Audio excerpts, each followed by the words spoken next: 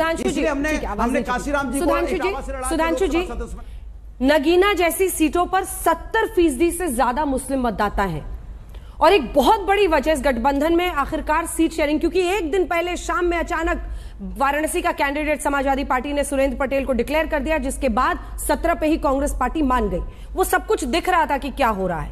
लेकिन सवाल यह है कि कई सीटें ऐसी हैं जहाँ पर मुस्लिम कंसोलिडेशन अगर हो गया बटा नहीं वोट। तो आपके लिए मुश्किल हो जाएगी।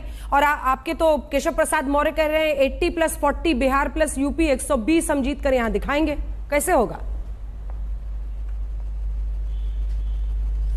देखिए जो आप बात कह रही हैं वो बिल्कुल ठीक है। इनके इनके गठबंधन या जो ये विपक्षी दलों गठबंधन का क्या उद्देश्य? वही है ना कि 20 फ़ीसदी पक्का है। 20 फ़ीसदी अपना है और 80 को टुकड़े टुकड़े करना है। तो सारी की सारी जो तथा कथित रणनीतियाँ वो इस मुद्दे पे है, परंतु अक्सर ये रणनीति सफल नहीं होती।